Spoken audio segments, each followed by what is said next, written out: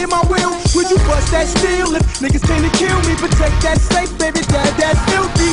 Whoa, somebody let her know up in here. He like Papa Smurf, I'm like Papa Bear. I'm just looking for a queen so I can rock her ear. Tell her Pete Tone in here, I got a lot. Welcome back, America. Two Men and a Bong on Big Face. Come on, dog. You on that bullshit. What the fuck you just tell me? Preacher did what? Pastor with full-blown AIDS caught sexing church members.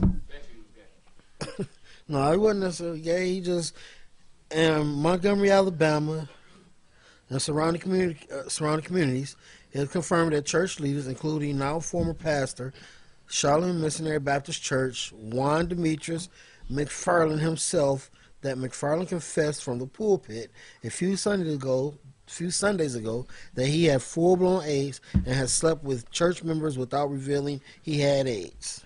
Oh, he done did the Jared, the Jimmy Swaggart. It done weighed so heavy on his soul, he didn't had to be truthful and give before the congregation. Ooh, he gangster. But look, he contracted AIDS in 2003. He discovered he had it in 2008. It's now 2014. How long he been sexing he didn't find the 08.